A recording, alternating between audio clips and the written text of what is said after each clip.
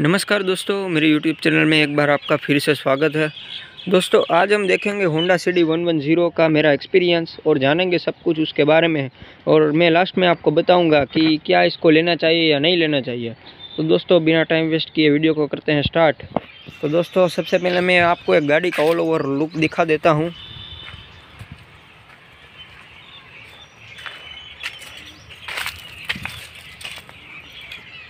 और कितनी चली है ये गाड़ी? और कितनी चली है ये गाड़ी, वो भी मैं आपको दिखा देता हूँ। दोस्तों, आप देख सकते हैं, यहाँ पे करीब 2820 किलोमीटर ये चल चुकी है। और दोस्तों, अब बात करते हैं इसके एक्सपीरियंस की मेरा। तो दोस्तों, करीब ये 3000 किलोमीटर चलने को आई है। तो दोस्तों, क्या इसमें कोई फॉल्ट आया हुआ है? क्या इसमें कोई दिक्कत आती है चलाने में? क्या ये स्मूथली चलती है? क्या आपको ढेर सारे क्वेश्चन आपको मन में क्रिएट होते होंगे? तो मैं आपको बता दूँ दोस्तों ये गाड़ी बहुत अच्छी है। इसमें मुझे कोई भी फॉल्ट आया हुआ नहीं लगता है। तो दोस्तों सबसे पहली बात यह है कि इसको लेने में कोई बुराई नहीं है। तो दूसरा ये है दोस्तों कि ये बी एस सिक्स है तो काफ़ी अभी आजकल के न्यू ज़माने में भी ये काफ़ी मतलब मार्केट में खड़ी रहती है ये। तो दोस्तों इसका ये एक फ़ायदा ये होता है कि ये जो गार गा, ये जो गाड़ी है वो आप हाईवे पे ले जाओगे तो वो काफ़ी स्मूथ चलेगी। सिटी पे भी काफ़ी स्मूथ चलेगी। उसमें भी कोई यहाँ पे आपको बुराई देखने को नहीं मिलती है।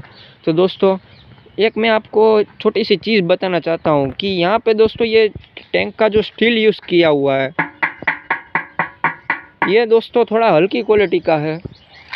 और दोस्तों, यहाँ पे जो फाइबर है, यहाँ पे जो फाइबर है, कई सारे यहाँ पे फाइबर बॉडी यूज़ की गई है। यहाँ पे फाइबर ये तो दोस्तों ये पूरा फाइबर है ये ये टूट जाएगा, ऐसा फाइबर है। यहाँ पे दोस्तों आप देख सकते हैं, ये सब कुछ फाइबर है। ये फाइबर है, ये भी ये भी फाइबर है दोस्तों, ये नीचे वाली फ्रेम। तो दोस्तों, ये सब कुछ इसमें फाइबर आता है। तो यहाँ पे आपको एक क्वेश्चन क्रिएट होता है कि कंपनी वाले क्यों फाइबर देते हैं? क्या इसमें उसको कोई फ़ायदा होता है? तो दोस्तों, यहाँ पे एवरेज के मामले में आपको मैं बात करूँ। तो दोस्तों कंपनी वाले क्या करते हैं कि एवरेज को बढ़ाने के लिए, ज़्यादा देने के लिए यहाँ पे आपको गाड़ी का जो वज़न होता है वेट होता है, उसको कम कर देते हैं। तो अगर हमें वेट कम करना होता है तो हम क्या करेंगे तो ये देखो, ये स्टील की क्वालिटी है, इसको लो कर देंगे ताकि वज़न कम हो जाए। जहाँ पे स्टील यूज़ किया हुआ है, उस पर फाइबर यूज़ कर देंगे। ये देखिए, यहाँ पे ये फाइबर ये पहले क्या होता था कि पतरे का आता था। पर दोस्तों, यहाँ पे ये दोस्तों, ये हल्की क्वालिटी है, यहाँ पे भी दोस्तों, ये ये भी दोस्तों तो दोस्तों मैं आपको एक बात बताना चाहता हूँ, इसमें ये कोई हल्की हल्की क्वालिटी है तो इसमें ये कोई बुराई नहीं है। पर दोस्तों अगर ये गाड़ी गिरेगी तो ये थोड़ा बहुत आपको नुकसान झेलना पड़ेगा। पर दोस्तों आजकल तो ये बीमा पॉलिसी अवेलेबल होती है और क्या है कि फ़र्जियात होती है।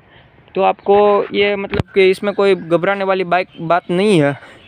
दोस्तों हर एक कंपनी की गाड़ी में क्वालिटी तो अभी लो ही आ रही है। अगर आप कोई भी गाड़ी ले लो फोर व्हील ले लो या टू व्हील ले लो तो उसमें ये ये कोई चिंता करने वाली बात नहीं है। पर दोस्तों परफॉर्मेंस के बारे में मैं आपको बताऊँ तो ये मतलब कि ज़ोरदार चलती है ये गाड़ी।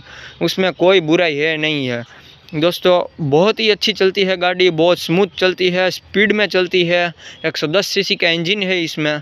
और दोस्तों बी एस सिक्स है न्यू टेक्नोलॉजी है। तो दोस्तों, इसको लेना ही चाहिए। मैं इसको नहीं देने की, इसको नहीं लेने की सलाह तो बिल्कुल नहीं दूँगा। अगर आपका बजट है, अगर आप गाड़ी लेना चाहते हैं, अगर आपको गाड़ी लेने की नेसेसरी है तो दोस्तों, ये इसको आपको लेना ही चाहिए। यहाँ पर काफ़ी अच्छी गाड़ी आपको यहाँ पर मिल जाती है। काफ़ी स्मूथ है। और दोस्तों, एक बात करूँ मैं आपको, ये यहाँ, ये सब कुछ ये फाइबर यूज़ किया हुआ है। मैं आपको एक चीज़ बताना दूँगा ये भी, ये एक्स्ट्रा एसेसरीज़ है, ये है, ये एक्स्ट्रा एक्स्ट्रा एसेसरीज़ है ये सब कुछ। ये ये स्टील है। पर दोस्तों, ये आपको बाहर से लगवानी पड़ेगी, बस। ये एक्स्ट्रा एक्स्ट्रा एसेसरीज़ है, फिर ये है उसके बाद ये जो इंजन के ये पत्र आता है ये भी एक्स्ट्रा एसेसरीज़ में आता है।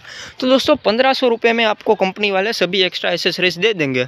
उसके बाद तो मुझे कोई लग, कुछ लगता नहीं है कि इसमें कोई भी कमियाँ तो मुझे लग ही नहीं रही है इसमें। बहुत अच्छी गाड़ी है लेने लायक है। और दोस्तों एक बात को आपको खास ध्यान रखना है मैं एक छोटी सी चीज़ आपको बताना चाहता हूँ। दोस्तों क्या होता है ये है सेल्फ स्विच मैंने आपको पिछले वीडियो में भी बताया था। इसको अगर आप बीच में रखते हैं, फिर उसके बाद यहाँ पे चालू कर दें। अगर आपको गाड़ी बंद करनी है तो क्या करते हैं, इसको बेसिकली बंद कर देते हैं।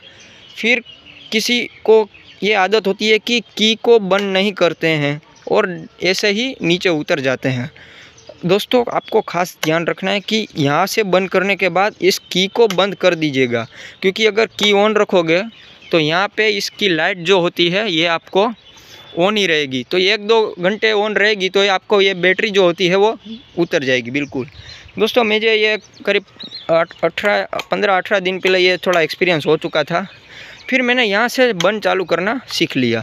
तो आप यहाँ से भी बंद चालू कर सकते हैं, इसमें कोई है नहीं। देखिए, ये मैंने चालू कर दिया और यहाँ से मैं बंद कर रहा हूँ। तो यहाँ से भी आप बंद कर सकते हैं इसको। ये, इसमें कोई आपको दिक्कत आने वाली बात नहीं है। तो अच्छा ऑल ओवर अच्छा एक्सपीरियंस है, मैं आपको कहूँगा और मैं यहाँ पे मेरे वीडियो की भी समाप्ति करता हूँ।